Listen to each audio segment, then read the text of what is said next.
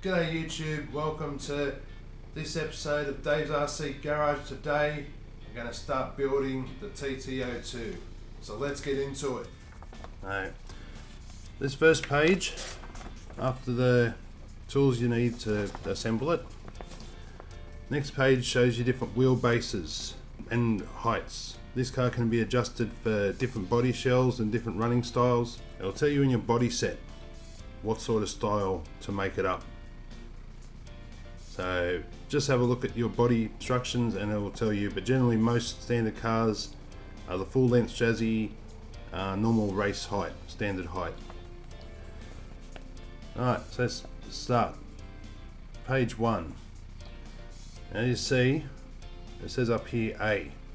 That refers to the um, bag of screws that you'll be using and then the actual number on the part it says C5 refers to the tree. You can find these if you're not sure at the back.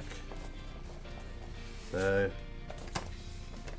there's C and it's all the drive shafts. That's just a quick reference if you want to if you're not sure where you're looking at.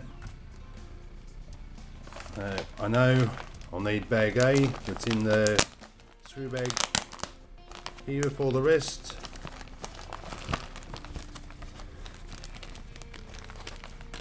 I will need the gears. They'll stay out. And as the instructions said I'll need bag A.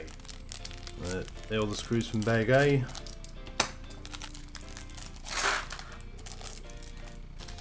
Actually we'll wait because I know they're for the diffs so we'll leave them in there.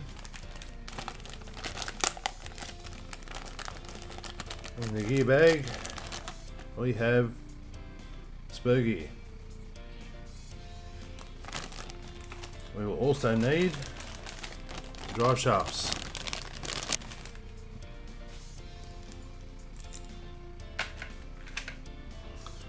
We will need C5 which is these ones.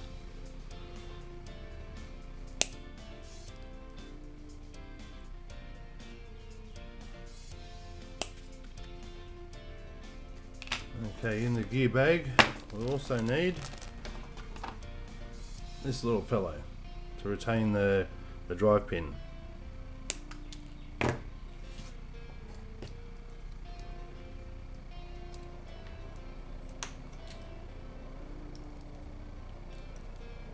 can see even though the side cutters do do a good job, there will be just a little bit of flashing on the edge there.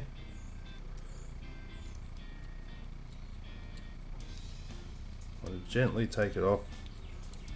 Not taking off any extra just so everything runs nice and smooth.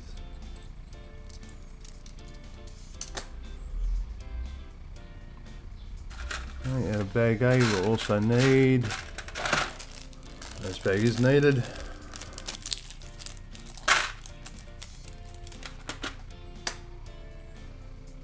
Drive pin also get out the first of the option parts that we get used on this car, the ball bearing set. If you're just going to assemble your car as pretty much a shelf queen, you won't have to worry about these. If you're going to actually run it, definitely, definitely buy a bearing set and put it in at the start.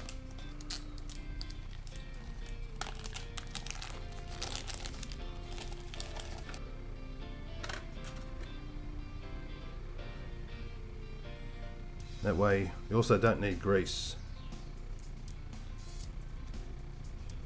because these run nice and smooth. So we have the bearing on there, the cup holder,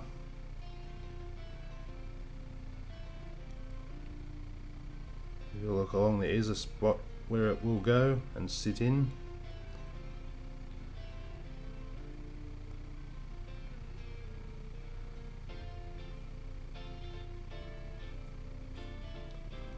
then spur gear pushes in. If it's right it'll go nice and flush. There's no gap there. We then get another 1150 bearing. And one gear. That's the first part done.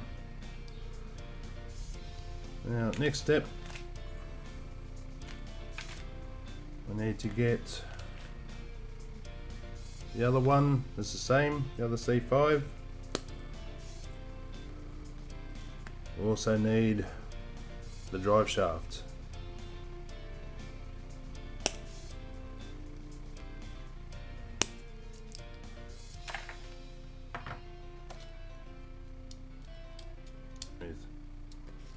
Check this one.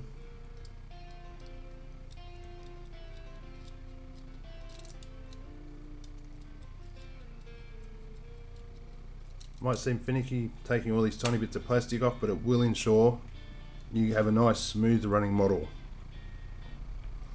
Alright, so for this, this one will be the last of our 1150 bearings. There are two small bearings in here, 1050s and 1150s. The 1050s go into the uh, wheels, into the hubs. The 1150s are used for this drivetrain. Uh, put two 1150s on there.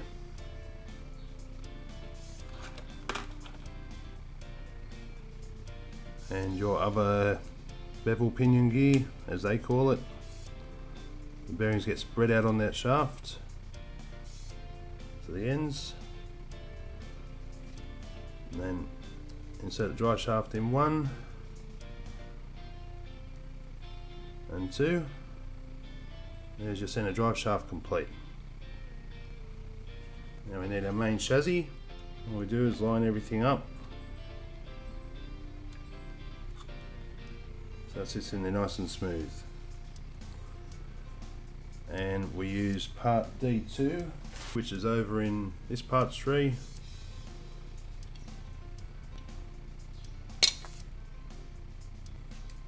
Let's give that a clean up and that goes to secure down the front drive shaft. With two 3x10s which are your standard size silver screws. You'll see there's a lot of these in the kit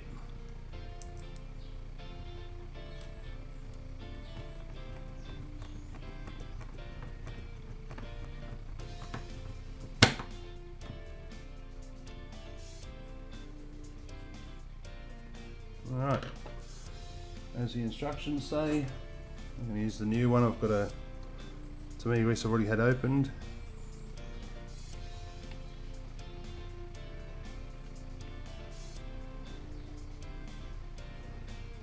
a bit of grease around your pinions, bevel gears.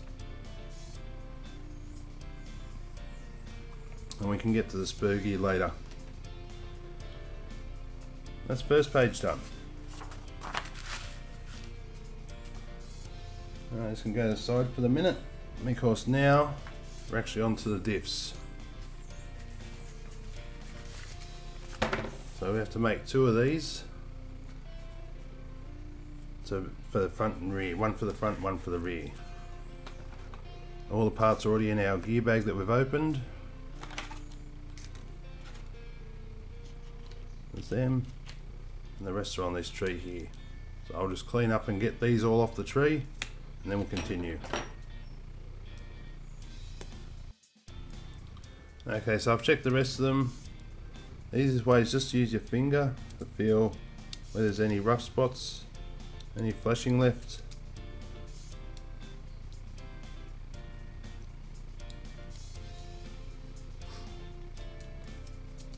Okay. Now the rest is just a matter of um, assembling step by step. First take one of your cross pieces, this is also on the plastic tree that we just took the gears off.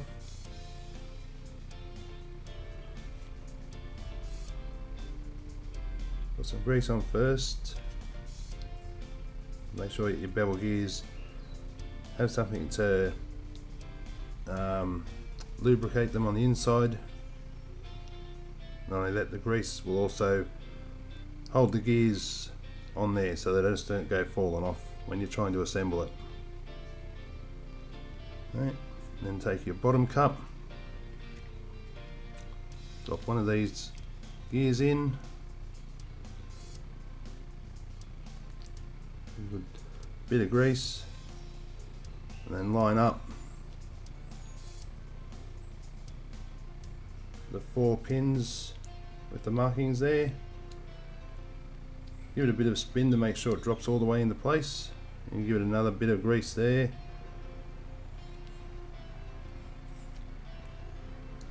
Put your top one on.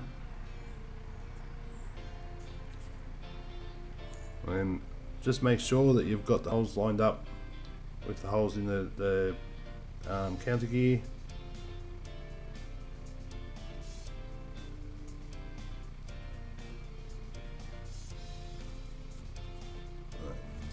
This is when you need your smaller screwdriver.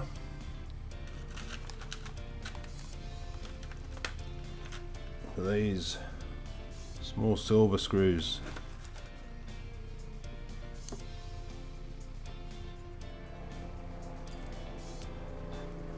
That's one done.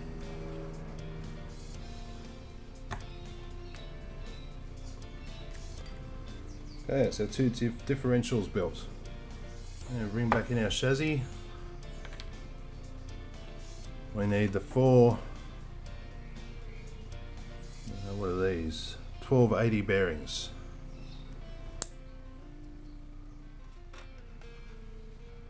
And the front one will go in this side.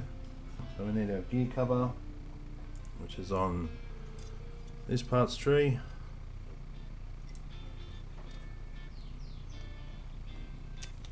So again, another four of our standard 3x10 screws.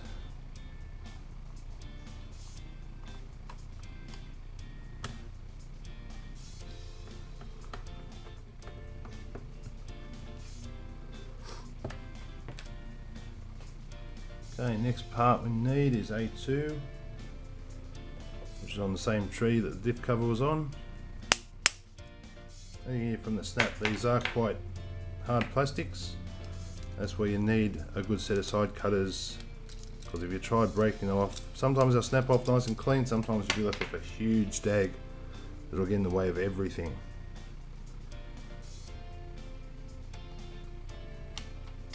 this goes on that way.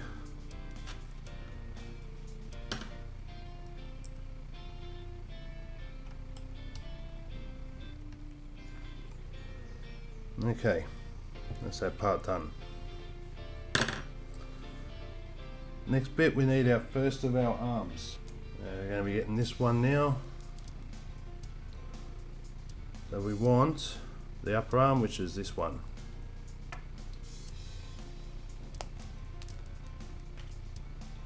want both of them off the two trees.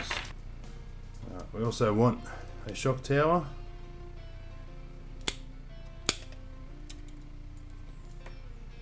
This step we're also going to need P7 which is in the steering servo set.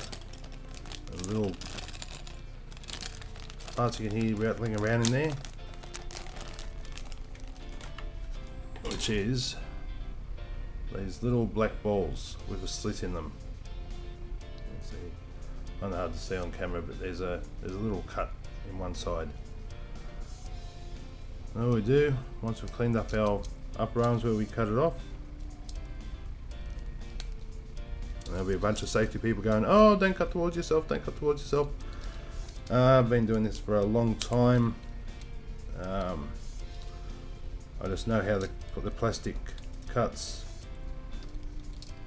and that. So for yourself, yeah, cut away from yourself. Alright, so what you do with these, put one of the, the balls in sideways, just press it and turn it. And then the other side, put the ball in long ways, click it down, turn it sideways.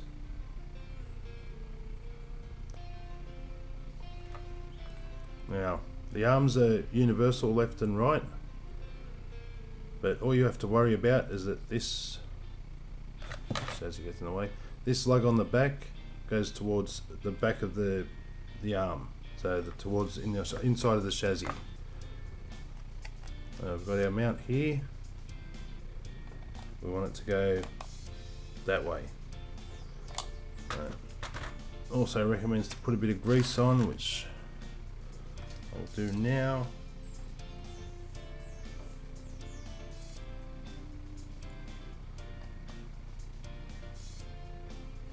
So both arms, other one, other way around, so the this part's at the back.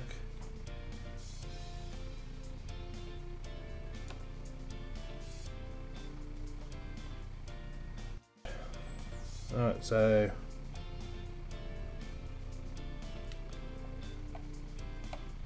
this goes on, this requires a bit of fiddling maybe. Oh no, there it goes. Slipped on very easily.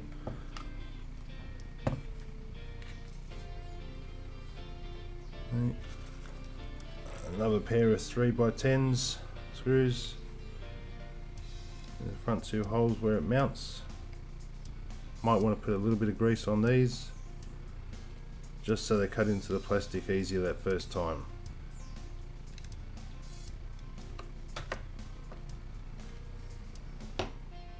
Okay, I think that'll do it for this episode. Tune in next time to see the build continued.